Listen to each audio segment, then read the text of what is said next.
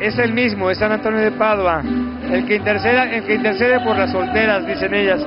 Si ahorita dan una vuelta por la capilla, van a encontrar muchos paquetitos de 13 monedas que traen las chicas de la zona o que están en el noviazgo y que las tradiciones se dice que San Antonio es un buen un buen lazador para poder encontrar a su pareja verdadera y bueno pues qué bueno que sea a través de una fe que puedan eh, tener esperanza de formalizar una familia, que eso es lo más importante, ya que la familia es la que puede generar un cambio social realmente de nuestro país y de nuestro mundo. Muchos. La verdad es que le puedo asegurar que lo que platica la gente de nuestro patroncito es una imagen pequeña, pero es muy milagrosa.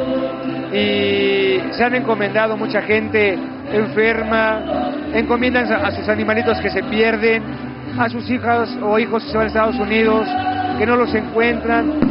Y está lleno, lleno de eh, el milagrero que le llamamos, donde se encuentran todos los eh, intenciones recibidas por San Antonio.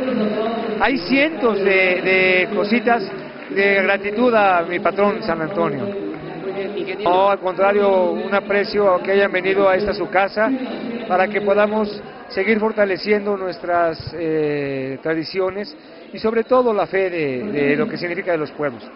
Algo que es muy importante que deben tener nuestras familias es esta incorporación a tener a nuestros hijos un, un porqué de la vida, un, un, proyecto de vida que sea algo más arriba que uno mismo confiar en el hombre, que eso no tendría mucho futuro. Muy bien, muchas gracias. Muchas gracias por su atención. Buenas tardes.